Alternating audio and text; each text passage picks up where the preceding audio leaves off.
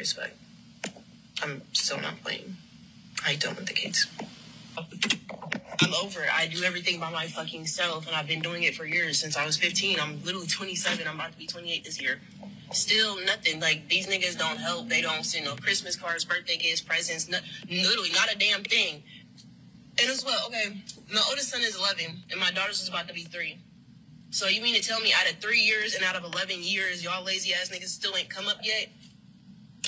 Okay, well, y'all take the kids, and I'm going to worry about me, focus on school, and get my motherfucking shit together because why the fuck not? It's time for somebody else to fucking, you know, step the fuck up and do something. I'm t- Yo, welcome back to the channel, man. Today's another touchy, touchy topic, man.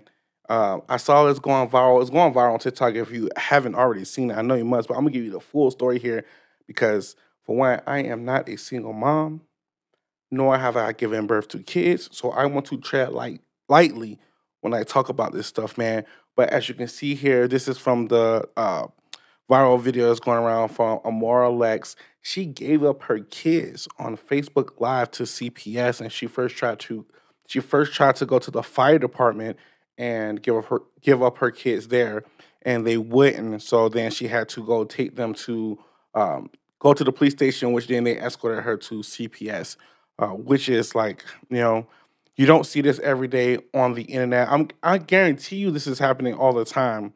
Um, you just don't see it on the internet. So a lot of people was worried about about her mental state. And my first, my very first reaction to this was anger. Like, what are you doing? Like, first of all, why are you on the internet?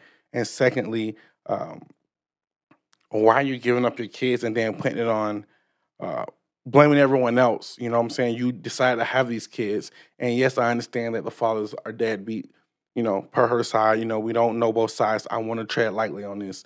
Um, that was my first reaction. So then I'm just like, you know what?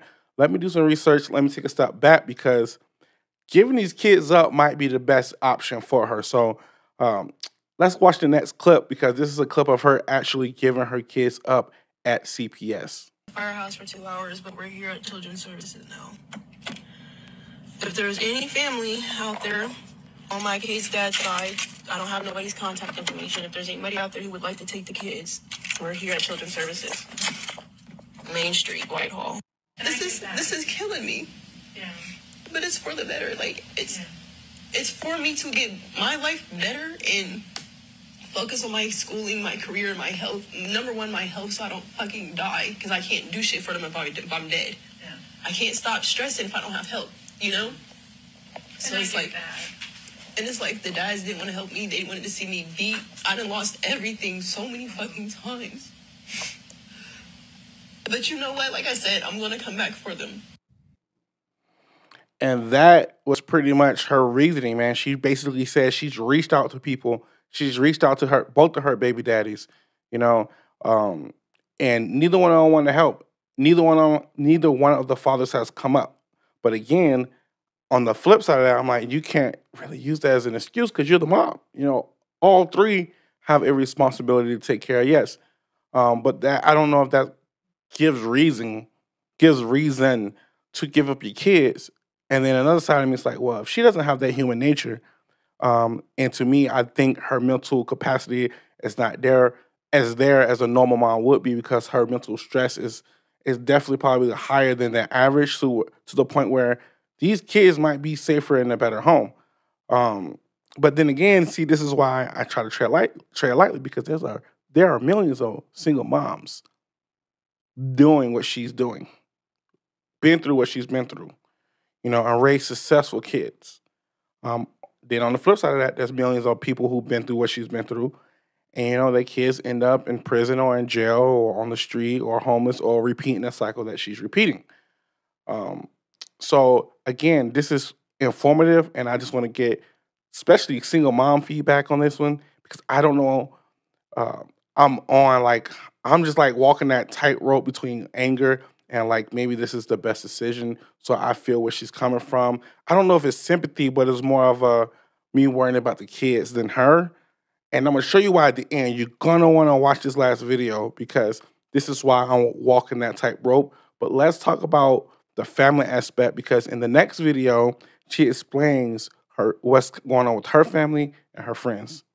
Um, but I did. I made this decision because, of course, I'm not gonna lie. Yes, my family.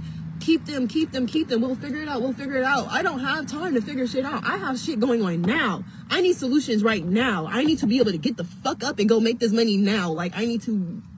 I don't have a lot of fucking time and nobody gets that. I'm not scared to fucking die. I don't care about dying. I don't care. I care about leaving my kids with nothing, knowing damn well I'm the only motherfucking person on this earth who loves them.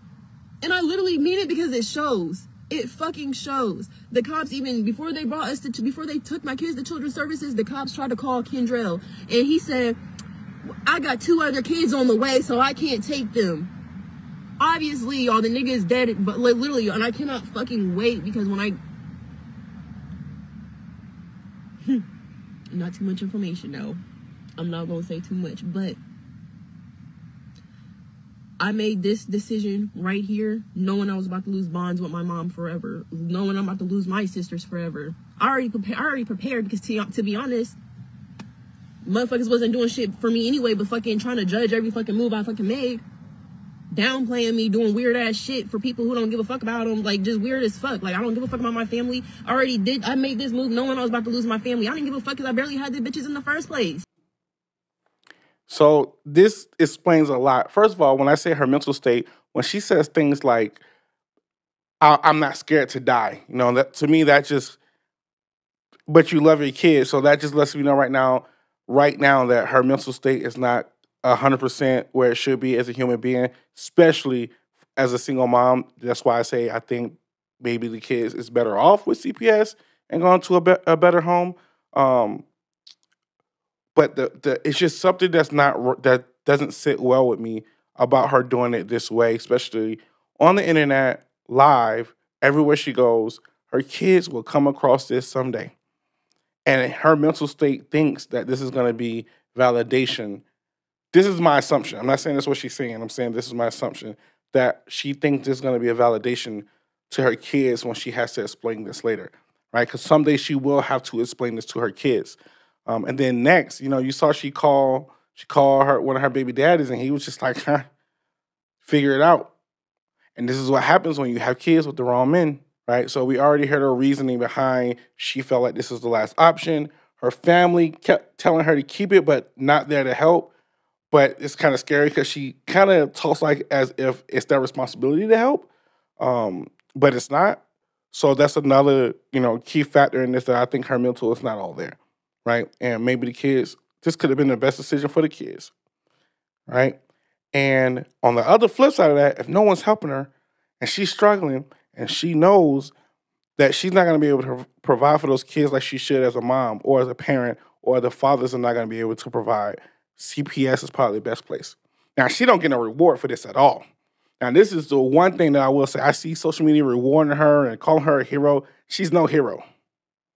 She's made a lot. If you go look at her history, this not, this is not her first time dealing with CPS, and she is no hero. She keep she continues to make bad bad decisions over and over again, and end up in a situation to now she's giving up two kids. Because trust me, if one's three, I can't remember how how old is the other one, or I can't remember, but they're far they're far enough apart to where you went through the struggle and you known that you was going through the struggle that you shouldn't have had another one. So she's no hero here. But let's get into the next video because I don't want to hold y'all too long.